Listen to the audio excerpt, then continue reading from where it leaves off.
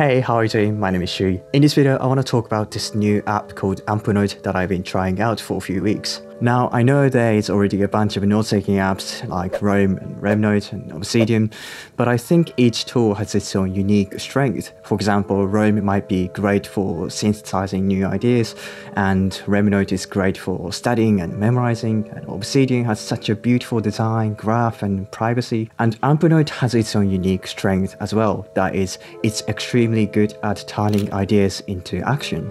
If you're looking for an app that you can use for capturing and refining ideas with very advanced task management system, I think you will love Amplenote.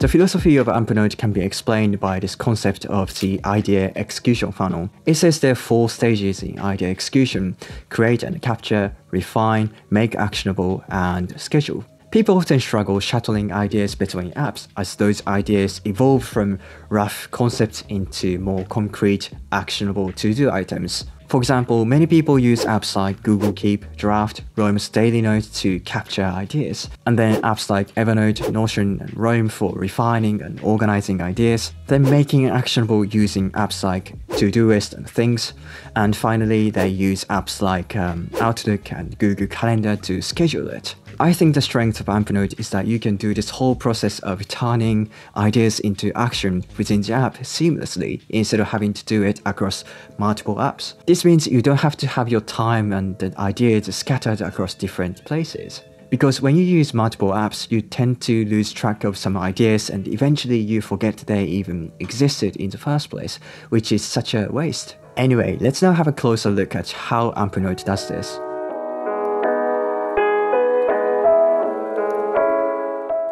In Amplenote, there are four different modes, Notes mode, Jots mode, Tasks mode, and Calendar mode.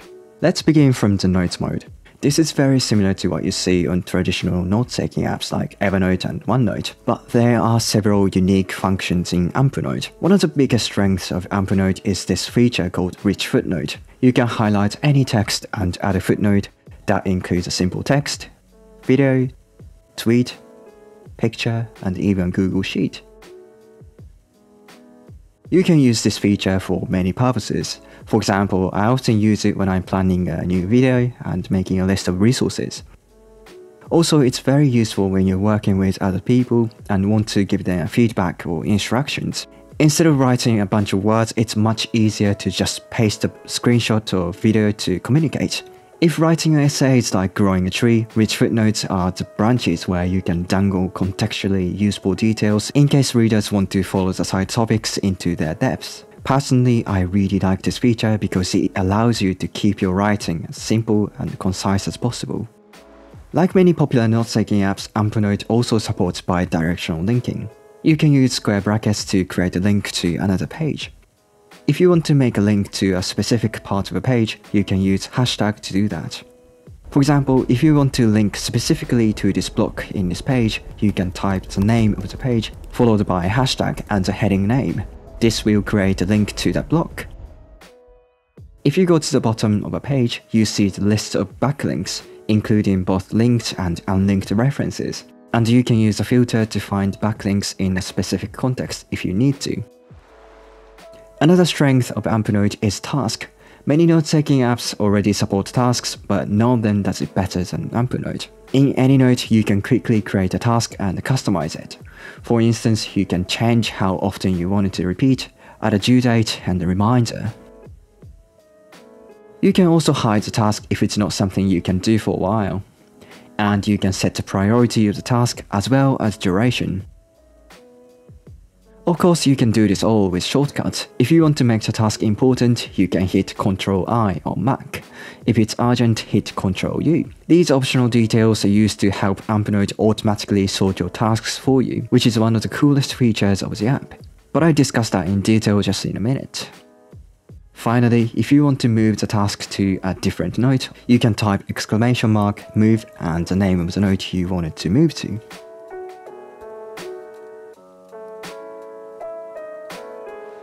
You might have noticed that Amplenote doesn't have folders like in Evernote and OneNote. Instead, notes are organized with tags. and each tag is organized hierarchically. For example, I have a tag called project, which contains specific project tags like Twitter, YouTube, and website. If I click YouTube, it shows every note about my YouTube project. So if I want to plan a new video, I can make a new page and add a hierarchical tag project slash YouTube, so it will show up in the list. Lastly, something I really like about Amplenote is how easy it is to share your notes with other people. Let's say I want to share this note about my office renovation. I could simply hit publish note and share the link to my friends. I think this is really useful when you want to work on a project with your team or with your friends. Let's now move on to the Jot mode. Jot mode is similar to the daily note in Roam and RemNote. This is where you can capture ideas, which is the first step in the idea execution funnel. Whenever you get a new idea, you can open the daily jot and write it down. It's like a scratchpad where you can write down anything without having to think about categories or organizing. But if you want to add tags to your ideas, you can use shortcuts. For example, I often get many ideas for my YouTube channel so I can choose a project slash YouTube shortcut to add a tag to my new video ideas. Also, when you found articles or website you like, you can use the mail to note function to save them to Amplenote. If you're on your laptop, you can share an article using email to save it to Amplenote. If you're on your phone, you can use the iOS shortcuts to save anything. Simply tap one of these share options such as add to tomorrow, add to today, and create a new note. Then the items you saved will appear in the note you chose. Let's now talk about tasks mode. This function is one of the strengths of Amplenote and what makes it different from other note-taking apps. When you click on the tasks mode, it will show you the list of every task you made across different notes. So it's kind of a master task list. What I really like about this feature is the order of the items in this list. It always shows the most important tasks at the top. Amplenote does this by computing something called task score based on an algorithm. For example, if a task is due today, it will increase the task score significantly. Similarly, if a task is marked as urgent, it will bump up the task score. I find this incredibly useful because whenever I open the tasks mode, it will show me which tasks I should be working on right now. In other words, Amplenote automatically does task prioritization and all you have to do is just start working on the tasks from the top of the list. Another feature I really like is hiding tasks. As you use Amplenote daily, you will soon have a long list of to-dos, which can get overwhelming and distracting. So what I like to do is to hide the tasks that are not relevant right now for a while. This allows you to clear up your list and see the only tasks that you're going to work on today. Finally, I want to talk about the shortcuts. You can use them to filter your tasks. For example, if you click due this week, you can see the only tasks that are due this week. Similarly, you can use the tags to filter as well. So if I want to see the tasks that are relevant to my YouTube channel, I can click on projects and then YouTube. If this is a filter you use often, you can add it to the shortcuts by clicking the star.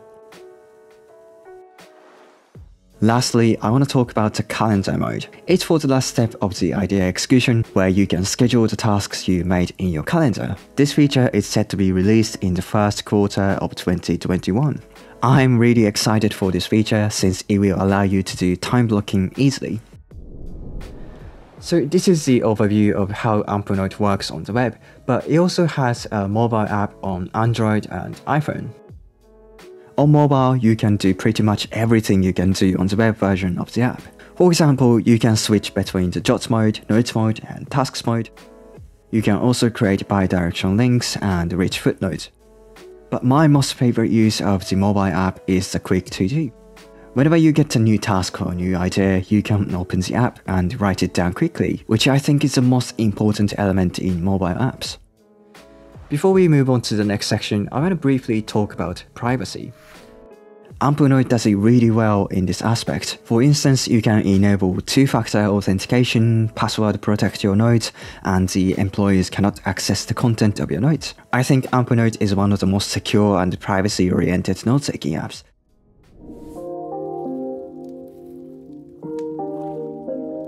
Now, I want to show you a general workflow of idea execution funnel in Amplenote. As I said earlier, the first step is to capture ideas. What I usually do is that I open the daily jot whenever I get a new idea and write it down. The next step is to refine the ideas you captured. Once you have vague ideas, you want to develop them into something more clear and actionable. So let's have a look at the task list. You can see every task and idea you made even in the jot mode. And if I choose a shortcut for YouTube, for example, it will show me the tasks and ideas only related to my YouTube. So let's work on one of the ideas to develop it into more concrete ideas. This is when you use the notes mode, you can create a new page for the idea and assign some tags. For example, this is an idea about YouTube videos, so let's tag it with project slash YouTube. Then I can do a brainstorming and develop the idea more. When you're done with brainstorming, it becomes clear what you need to do to move the project. So what I need to do is to make a list of tasks. In this case, I know I have to do some research to make this video. This is a good time to mark tasks as urgent or important and estimate the task duration. Doing this will help Amplenotes to sort your tasks according to their priority. Then I make a rough publishing schedule.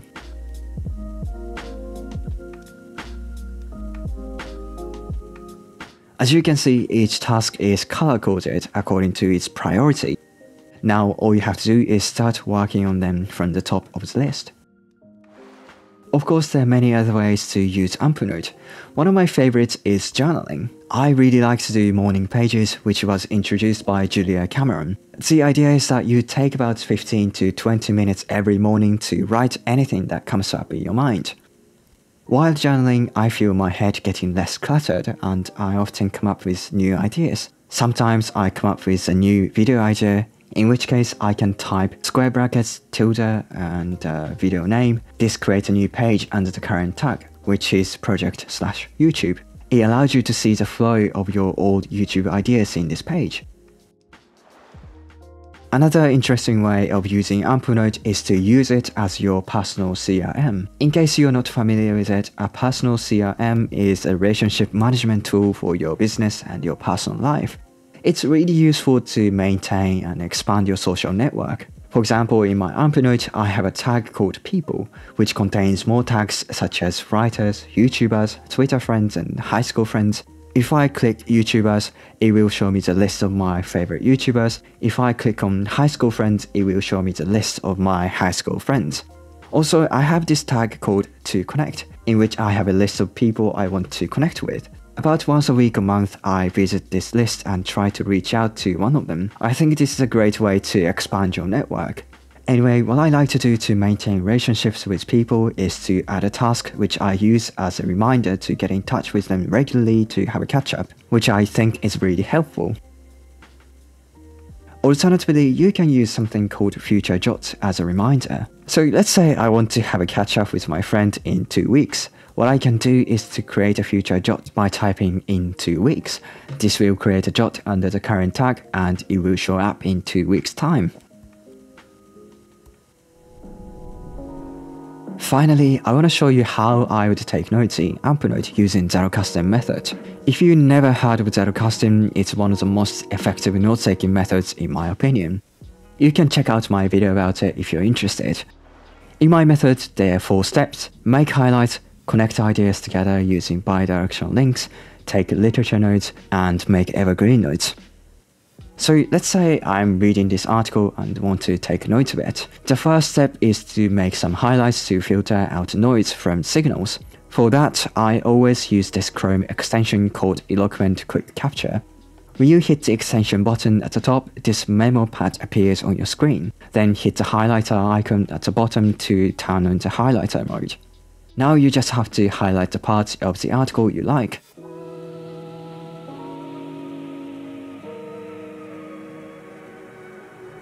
Once you're done, you can simply copy the whole highlights and paste them in a page in Amplenote. In this step, I always format as quote or italicize it so I know these are something that other people wrote, not me. Also, I usually assign a tag called Zettelkasten slash resonance slash article, which lets me keep the information I consumed organized.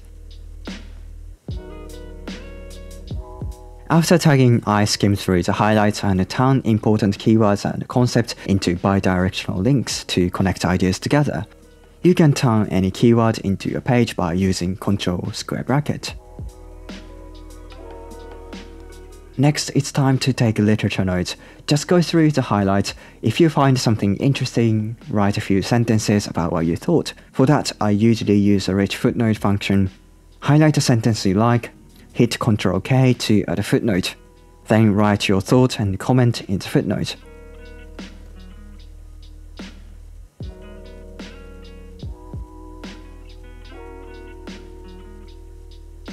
Finally, last step is to make evergreen notes. Look at all the literature notes you made. If you think some of them can be useful for your thinking or writing later, you can turn the literature notes into evergreen notes. Open the footnotes you made and create a new page using square brackets.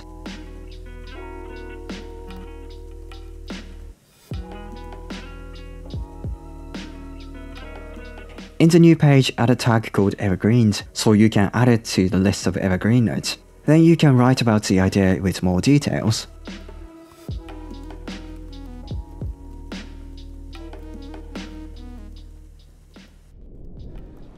Okay, so that's how to take notes in Amplenote. But to be honest, I felt a little constrained to do Zettelkasten in Amplenote because it doesn't have uh, features like the sidebar and block referencing like in Roam, which I think are very important. Still, Amplenote offers a range of great, unique features that other note-taking apps don't have, such as the rich footnote and the advanced task management system. And they're working to add even more features that users voted, which you can see in this uh, feature leaderboard. If you're looking for an app that you can use not just for capturing and refining ideas, but also for managing your tasks and schedule efficiently, I think you will love Amplenote. If you want to try it, you can download it for free from the link in the description. It's available for web, Android, and iPhone.